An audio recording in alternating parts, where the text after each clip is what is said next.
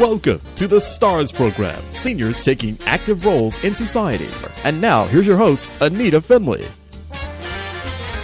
Now, we're going to talk about Ashley the Entertainer. If you have the May edition of Boomer Times, you'll see this wonderful, wonderful guy on the cover.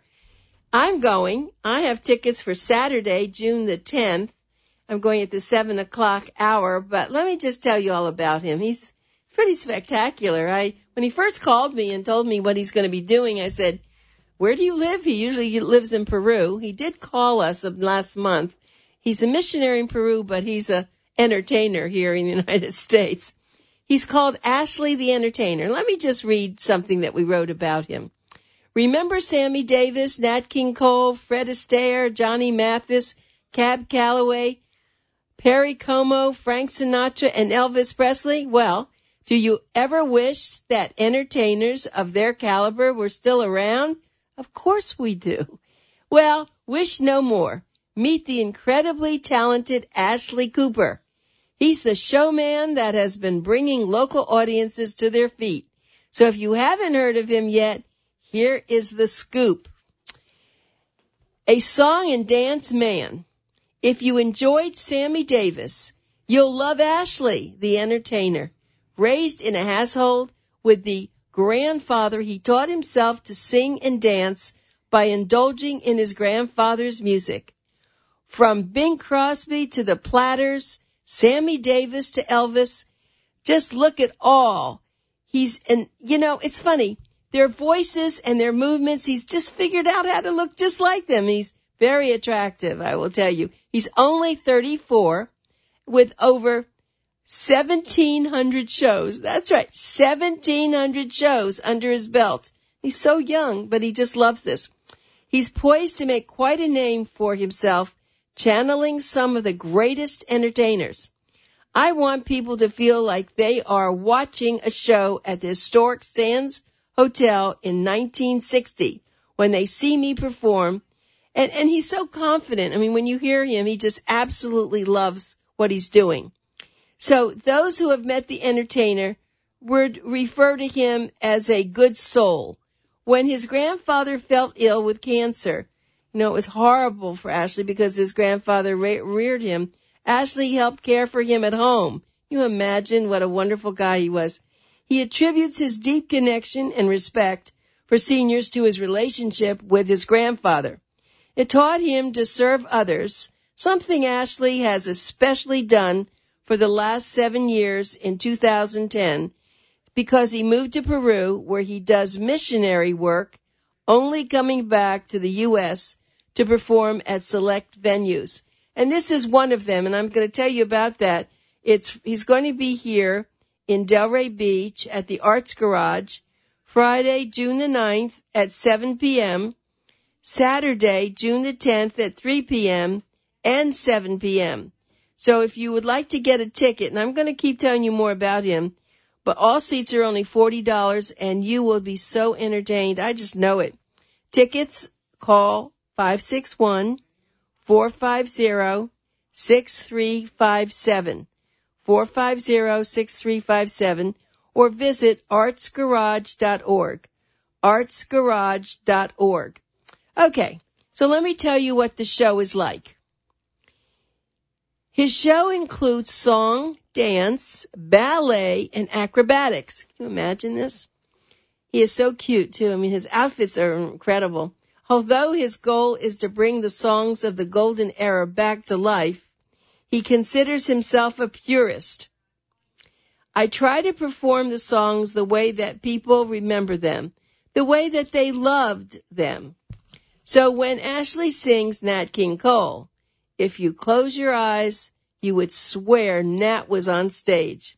Oh, I used to love Nat King Cole and all the things that he sang.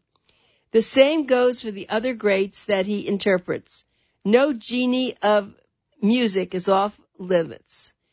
No genre. I'm sorry. It's no genre of music is off limits. And, and, uh, he, he will tackle anything. He's often, he does the big band, the rock and roll, the blues, the R&B, the jazz, and even country at all in one set. Huh.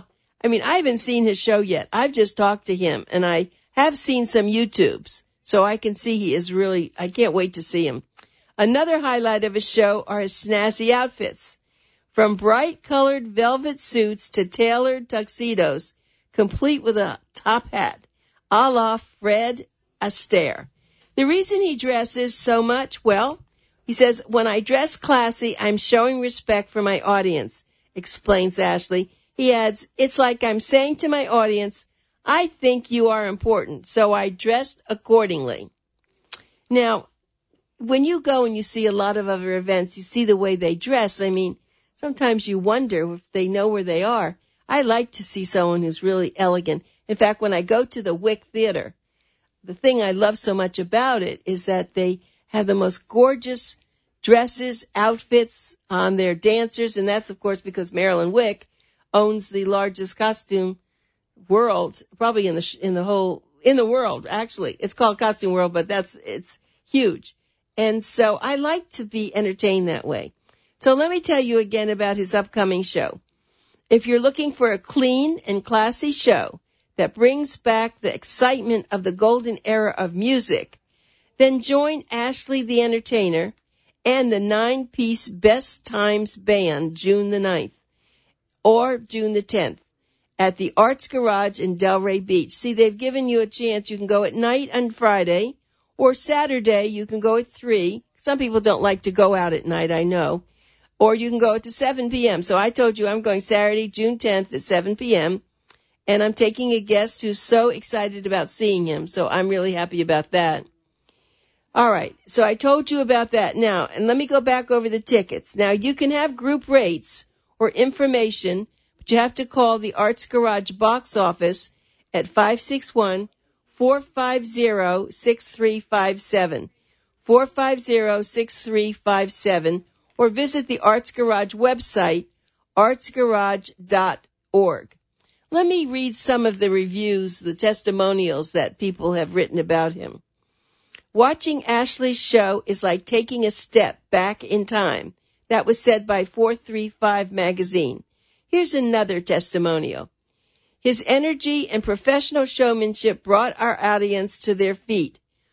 Bravo, Ashley. That was from Valerie Jeff of the Carl Lakes Cabaret Theater. Here's another one. The audience was mesmerized and thrilled with his exceptional presentation. That's from the Philadelphia Social Club, a Florida newsletter. His song and dance show was above and beyond any performance that I've seen. Our audience was left awestruck, said Karen Delgado at the Carlisle. He draws you in and then lifts you up. Ashley is a man like few others, a real entertainer's entertainer. That was from Mike Rapacelli for Inside Entertainment Agency.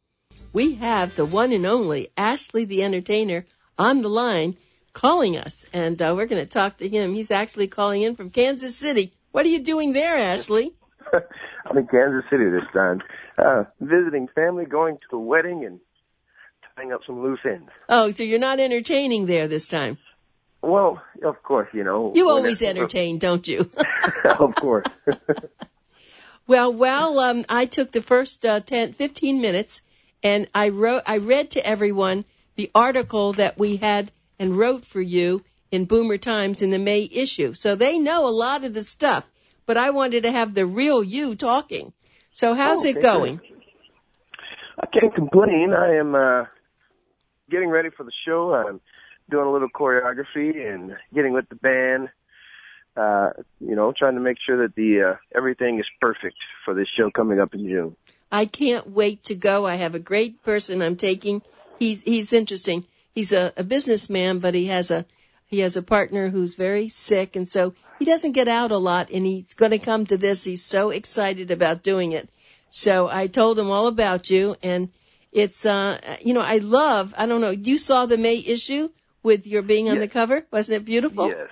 It is beautiful. I loved it. Everybody, you know, um, I got a couple of copies in the mail. Good. And, uh, you know, my, my family got it and they were sending it out and giving it away and people were just loving it. They were like, how come we don't get this, uh, this magazine in Kansas City? Right. well, that's interesting. We once tried to do this as a national magazine, but it just didn't work out. But It it is true, but but having you shown that way is just magnificent, and I know people are going to come and they're going to see you, and you're so young. That's what I was amazed at. You are only 34, and it said here in the article that you have actually done what 1,700 shows. Yes, absolutely. How could you have possibly done 1,700 shows? Well, you know, uh, before I left to Peru, South America, um, I was doing about three shows a day, uh, four to five days a week. I didn't know anything about modesty. You know, if someone called and wanted a show, I would do it. And, and at, in the beginning, when I started off, I was doing shows at uh, at nursing homes, and I loved it. You know, I was singing for the greatest generation. Yeah. And they would, you know, there was a big article about me here in Kansas City uh, about nine years ago. And once that article came out, well, I would I was would get you know calls all day long for you know for during the whole year. So I would do upwards of uh, almost like 400 shows a year. It was crazy. No, but that's why you honed your skills. Exactly, exactly. Because honestly, uh, seniors are the best audience because they will help you to refine your abilities, and they're brutally honest. If you're not any good, they'll tell you. You know, they, they come from the generation of not not everyone gets a trophy. Yeah, they'll tell you to you know get a get a day job or something if you're not that good. That's great. But I want to tell you something about seniors and and the people who you sing and you do tribute to. That brings back happy memories and days for them. So even if you're not perfect, they hear that the way they used to hear it. So I think what you've done is so helpful to making their lives enhanced. Well, thank you very much. Actually, you know, actually, before I went to started performing in Florida, I got one of the greatest honors ever. I, I became known as the nursing home singer here in Kansas City. Huh. And um, what would happen is I would go to these places uh, about once every other month. Um, and there's at least 200 different, you know, assisted livings and independent livings here in Kansas City within like a hour radius. I mean, there's just so many of them. And I would go to these places every other month and I would build up a rapport with the residents. I knew a lot of them by name. They would have my picture up in their rooms, and when, whenever their family would come, they, they, oh. you know, they knew who I was. They'd say, they, you know, I would see people that are, that are going to a restaurant. They say, "Are you at the nursing home singing? My mother loves you." and so, what would happen would would be that I would follow these residents from independent living to assisted living to nursing home. And eventually, you know, because because of the age, you know, they would eventually be in in hospice, and their their family members would call me and say, "My mother loved your so- songs. She uh, she's going down. Can you please come and sing to her?" I'm sorry, I'm getting a little choked up. You know, right. oh I'm rem- remembering some of those experiences. Well, I'm so glad you shared that with us because we are here in South Florida. Of course, we're the capital for the senior population, we're actually all of Florida, but people really love entertainment. When you go to the assisted living or you don't have to even go to nursing homes, you go to independent living where they con- congregate. The most important thing for them is the entertainment. And oh, if yeah. if you were here in South Florida all the time, you'd have more jobs than you could ever imagine. Oh, tell me about it.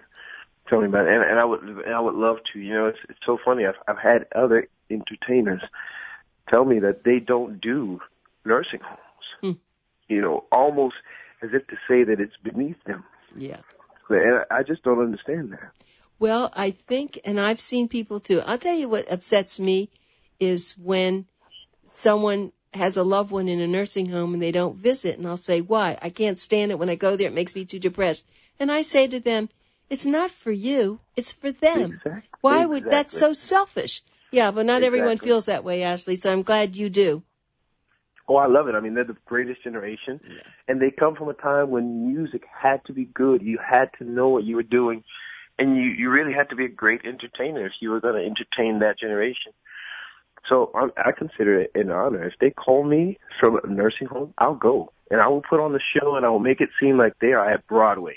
I will Oh. try to make those residents feel that they have left that nursing home and they're at some wonderful hotel in Las Vegas. Well, I liked you before, but now I really like you a lot. So I'm going to have to figure out how to meet you personally. Of course, I'll be there at the show, but on Saturday night. But what I wanted to also um, talk about is where where do you get these costumes made? I mean, do you design them yourself? Yes, in Peru. Um, a lot of times, I, you know, I grew up watching a lot of those old movies and musicals, and and, and a lot of times I'll get on, um, you know, YouTube and watch some of those old movies, and, and I'll get inspired. Or, you know, for me, I've learned that as an entertainer, the brighter the better. the brighter the better. Um, and also, I like the old school style of suits. Um, you know, I, I like. To, I, I also like to wear my pants where they should be. right. So, That's good. so I just I just enjoy getting dressed up, and I'm uh I enjoy suits. You know, as a kid, whenever we would go to our religious services on Sunday, I would be the last kid to get out of my suit, suit and put on my play clothes just because I love being dressed up since I was a kid. But mostly because my grandfather, he had this picture of himself and my grandmother. Hmm. And he had on this all white suit, and I just remember staring at that picture because he just looked so cool. And so whenever I got the chance to get dressed up, I just I never wanted to get out of my my my, my suit, my Sunday clothes. Well, see, it's I always see this in people. The way that they act as they age, if you grow go back to their family, their traditions, the upbringing, it always comes through. And that's what's Oh, happened to you. They they really had a great influence on you, especially your grandfather. Does anybody else in your family sing and dance? uh, not professionally, no. Um, but you know, music was just a huge part of our lives growing up. You know, one one thing that we would do as entertainment was that we would just put on old records and we would dance. Uh, I one one of my favorite things to do was to waltz with my mom. We I don't know why we would waltz. I don't know where that came from, but we just we would waltz around the room. We do a lot of two steps and and it was just it was fun for us. You know, we didn't you know so many times we didn't have a television, we didn't have cable, so we just we you know we sat in the same room and we talked or we played board games or we listened to music and danced. Well, that's why you are what you are today and I can see your face. You never stop smiling, do you? yes, a, lot of people tell me that. I know, I can see that, and I understand why. Your heart just comes out in your in your words, and and it, I can't. I just keep saying this. I can't wait to see you. It's a shame you're just going to be here for two days, but maybe you'll come back if you have a very good showing here. Oh, i definitely. Um, I want to make this an annual event in Good. South Florida. Good. Well, we'll do everything we can to help you. I'm trying very hard to tell my friends about it, and I know you're on YouTube too. People can go to YouTube and see you, can't they? Yes, absolutely. So You that's type yeah. in Ash Cooper or Ashley the Entertainer, and all of my videos pop up. that must be very thrilling for you. So, so when do you go back to Peru? Right after the show? Right after the show. Hmm. Right after the show, I, I head out, and you know what you were saying about uh, the values that you get from your family. Yes. That the reason I go back to Peru is because I do think, although I love entertaining, I just feel like the work that I do in Peru is just as important, if not more so, because I'm trying to, you know, usually we are helping families to just enjoy enjoy a better way of life through knowledge. Um, it includes a lot of you know Bible study, and you, I get to teach people about for everything from how to read better to hygiene, how to keep a job, you know, just life lessons that everyone needs, you know, and it, and what eventually happens is that the people become uh, better husbands, better fathers, better children, better neighbors. It's just a wonderful work. So that's why I go back. Yes, I understand. And it's you are joined by your wife, Yes. and you do Yes, this, I- and you must speak fluent Spanish. Yes. And how did you My- learn my that? Where did you learn Spanish? Well, I, I taught myself. I grabbed a uh, verb book. It's called 501 Verbs. I love that book. Five hundred and one verbs. Yes. In Spanish? Yes. It's a, it's a verb dictionary, pretty much. It teaches you how to use the how to conjugate verbs in Spanish, which is probably the most important uh, thing to learn when you're trying to learn Spanish. But I grabbed a dictionary, I grabbed a verb book, and I started, you know, giving Bible studies, forcing myself to do it with people in the Spanish community.